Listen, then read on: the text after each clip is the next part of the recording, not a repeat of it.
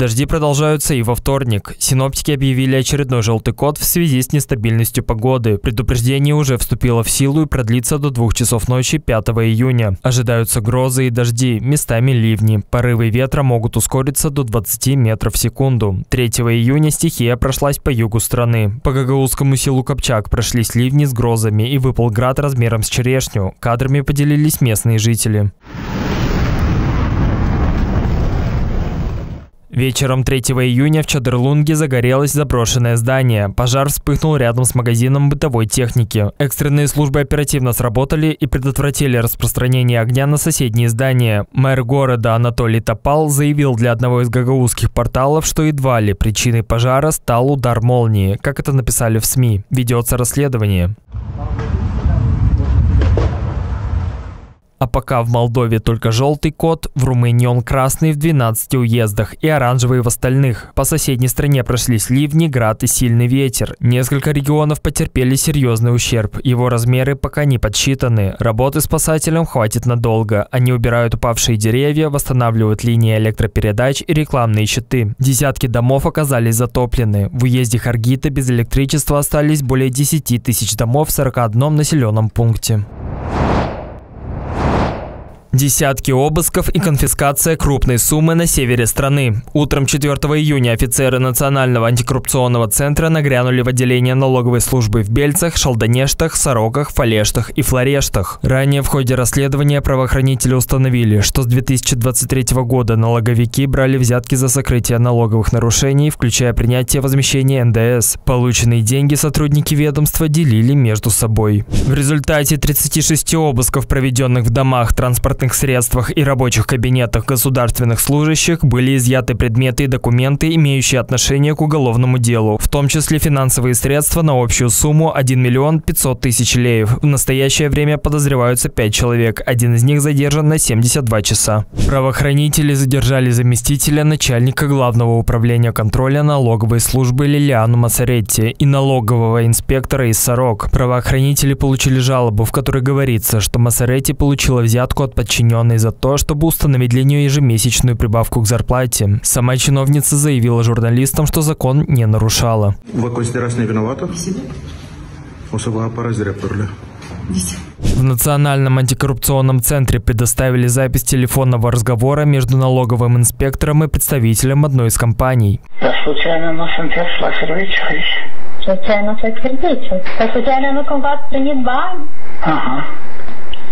Nu, nu că ați venit. Nu, subiect, nu, Hai, nu. te rog frumos. Hai, ieși până afară. Când v-ați intrat afară, ori ați intrat înăuntru, acolo e cameră. Eu, apoi eu ies afară. Nu trebuie să... Hai, te rog frumos. Э, В налоговой службе сообщили, что сотрудничают со следствием и заявили о нулевой терпимости к любым коррупционным действиям инспекторов. Расследованием руководит прокуратура муниципии Кишинев. Антикоррупционная прокуратура провела в Молдове 33 обыска у 12 человек. Следствие ведут Молдова и Франция при содействии ФБР и США. Правоохранители расследуют уголовное дело о подкупе госчиновников из республики и других стран. 4 июня детали сообщила глава антикоррупционной прокуратуры Вероника Драгалин на пресс-конференции. Grup de persoane de diferite naționalități. Группа лиц из разных стран реализовала коррупционную схему, чтобы лица, в отношении которых Интерпол публиковал красное уведомление, могли получать убежище или статус беженца в Молдове или других странах. Целью было заблокировать и удалить уведомления Интерпола об их розыске, а деньги за это получали чиновники, в том числе в Молдове. Следствие установило, что в схеме участвует международная преступная организация, связанная с лицами в России, Украине, Беларуси и других странах. Также организация подозревается в совершении масштабных киберпреступлений. Ее участники давали взятки посредникам и должностным лицам в Молдове, чтобы те информировали разыскиваемых преступников о статусе красных уведомлений Интерпола. В ходе обысков изъяли мобильные телефоны, ноутбуки и компьютеры, а также документы, которые могут стать доказательствами преступлений. Четверых человек задержали на 72 часа. Власти нашли новый офис для сотрудников антикоррупционной прокуратуры. Новость объявил председатель парламента Игорь Гролсу на одном из телеканалов. По словам чиновника, здание находится в центре столицы. Здание нашли, да. Где? Ну, в центре, будет в центре, я не знаю, если уже объявили э, публично, но, насколько я знаю, уже нашли. Там есть э, одна институция, ее попросит э, очень вежливо чтобы они что поселились. За, что за здание такое? Ну, очень скоро, ну, и коллеги с антикоррупционной прокуратуры, они уже знают, наверное, знают. Ньюсмейкер обратился за уточнениями к представителям антикоррупционной прокуратуры, но те заявили, что их еще не проинформировали о найденном здании. Вскоре детали предоставили в правительстве. Пресс-секретарь Даниэл Вода сообщила, что Кабмин анализирует варианты перевода антикоррупционной прокуратуры в бывшую штаб-квартиру Генеральной прокуратуры. В настоящее время это здание используется национальным органом по неподкупности и службой предотвращения и борьбы с отмыванием денег. Ведутся переговоры для поиска оптимальных решений, которые будут учитывать интересы и непрерывность работы всех вовлеченных учреждений. 15 февраля Высший совет прокуроров принял решение увеличить численность сотрудников антикоррупционной прокуратуры на 54 должности. Тогда руководитель учреждения Вероника Драголин заявила, что хотя решение принято, оно остается лишь на бумаге, поскольку власти не могут найти подходящую штаб-квартиру.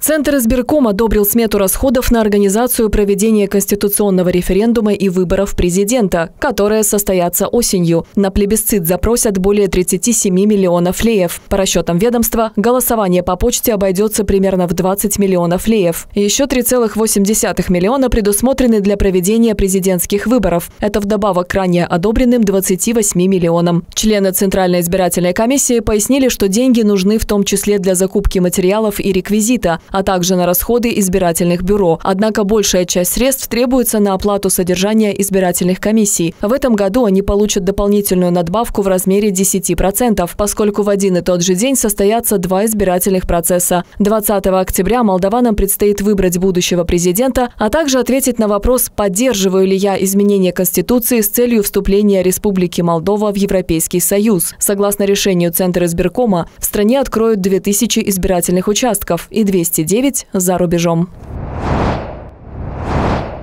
Трое судей займут кресло в Высшей судебной палате. 4 июня стало известно, что президент Майя Санду подписала декреты о назначении Стеллы Прокопчук, Дианы Станилы и Виорики Пуйка. Их кандидатуры главе государства предложил Высший совет магистратуры. Пуйка начнет работать в ВСП после того, как истечет срок ее полномочий в Конституционном суде. Согласно законодательству, после реформы Высшая судебная палата будет состоять из 11 профессиональных судей и 9 юристов. В прошлом году, еще до начала ветинга, 20 из 25 судей ВСП подали в отставку. Чтобы исправить ситуацию, Высший совет магистратуры перевел в учреждение 8 магистратов и судов первой инстанции и апелляционных палат.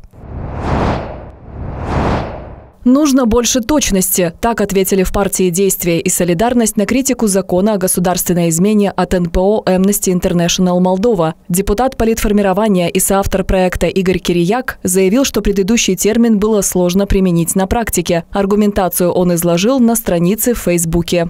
До сих пор Уголовный кодекс предусматривал ответственность за формы госизмены, одной из которых была оказание помощи иностранному государству в осуществлении враждебной деятельности против Молдовы. Это формулировка на практике была трудно применима, так как следственный орган не мог установить, кто является врагом, предпринимающим враждебные действия.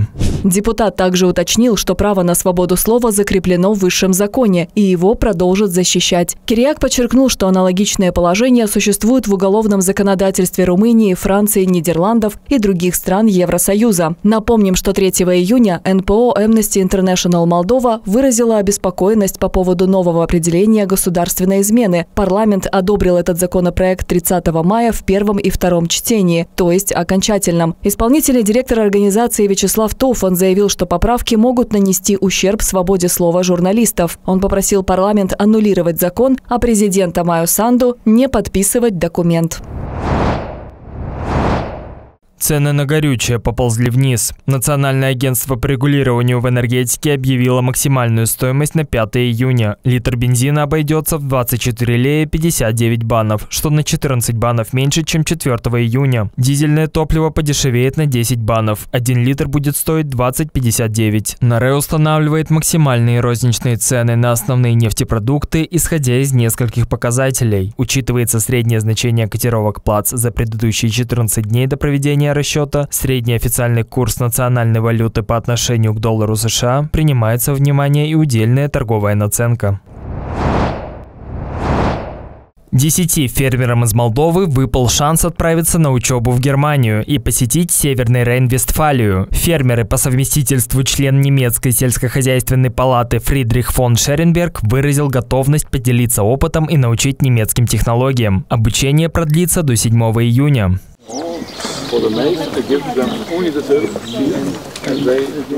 Фридрих фон Шеренберг вместе с сыном управляют примерно четырьмя сотнями гектаров земли. Они выращивают картофель, рапс, кукурузу, сахарную свеклу, горох и люцерну. Для орошения Фридрих использует грунтовые и поверхностные воды. Ökonomie hat, kann er immer die Landwirtschaftskammer anfragen Und es gibt für jedes Gebiet einen Fachberater, der einen ausführlich äh, beraten kann, sodass die Entscheidung auf dem Betrieb Молдавские фермеры поставили цель – перенять опыт у немецкой сельскохозяйственной палаты, изучить инновационные технологии и внедрить их у нас в стране. После визита к немецкому коллеге молдавские аграрии поделились эмоциями и впечатлениями. Ну, impresiile sunt grandioase, spun eu.